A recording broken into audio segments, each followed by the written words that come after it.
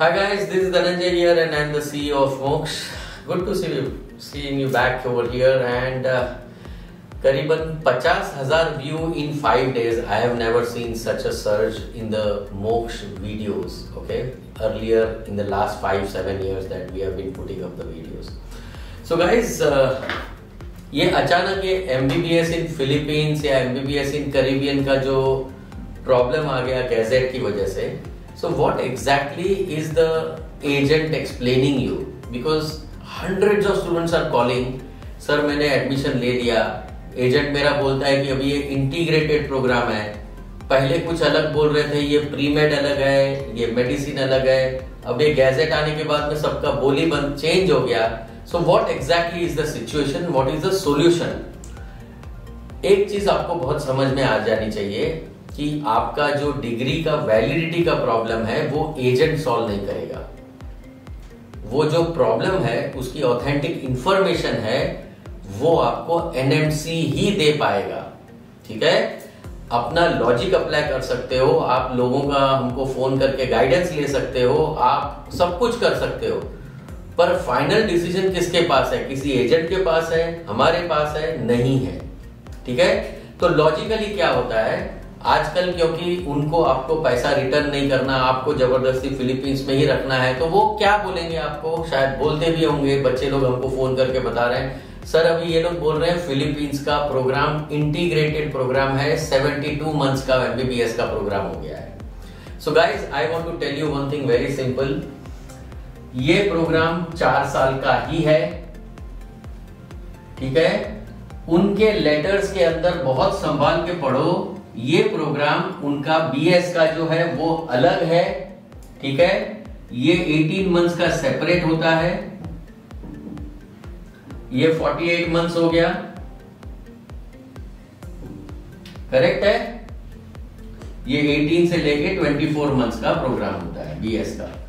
ये प्लस ये 72 मंथ्स का प्रोग्राम है। अब इसका डिसीज़न कौन लेगा? जिसने गैजेट बनाया है, वही लेगा या आपका एजेंट लेगा? अभी आप अप्लाई करो। पहले ये लोग बोलते थे, ये बीएस करना ज़रूरी है, ये प्री मेडिसिन है। सात लाख रुपया दे दो। फिर बोलते थे, यहाँ पे मेडिसिन में एंट्री करने के पहले आपको एंट्रेंस एग्ज़ाम होती है। जो बंदा एंट्रेंस एग्ज़ाम में पास होगा, वही मेडिसिन में जाएगा। करेक्ट है? अभी वो लोग गैजेट आने के बाद में फंस गए। तो वो क्या बोल रहे हैं? ये पूरा प्रोग्राम एक ही है। आप बिंदास चलते रहो, अपना एडमिशन लेते रहो। ये फालतूगिरी में मत पढ़ो आपको अगर अभी भी नहीं समझ में आ रहा वहाँ की यूनिवर्सिटी तो वो यहाँ का प्राइवेट कॉलेजेस है। यही तो प्रॉब्लम है कि वो लिख के दे देंगे कि भाई हमारा प्रोग्राम 72 मंथ्स का है। रियलिटी क्या है? उनका प्रोग्राम 72 मंथ्स का है, पर 18 से 24 महीने का बीएस का प्रोग्राम है। जो मेडिसिन में नहीं आता। This is called pre medicine बराबर है?